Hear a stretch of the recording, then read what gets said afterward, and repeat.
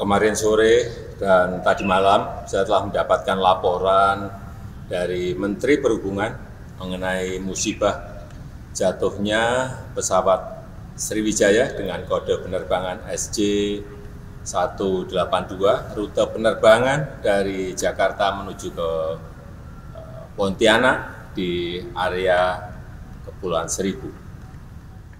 Saya atas nama pemerintah dan seluruh masyarakat Indonesia menyampaikan duka cita yang mendalam atas terjadinya musibah ini.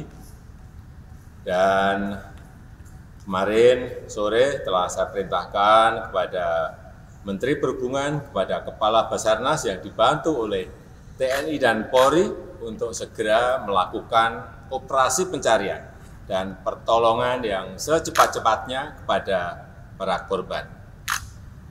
Kita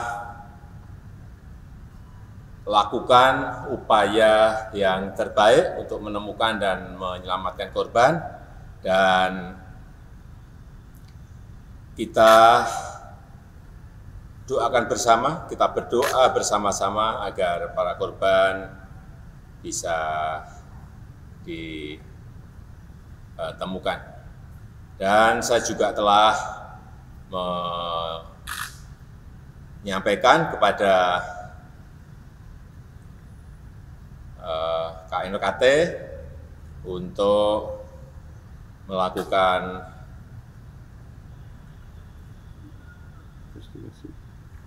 kajian penyidikan terhadap musibah ini. Saya rasa itu yang bisa saya sampaikan pada kesempatan yang baik ini. Terima kasih.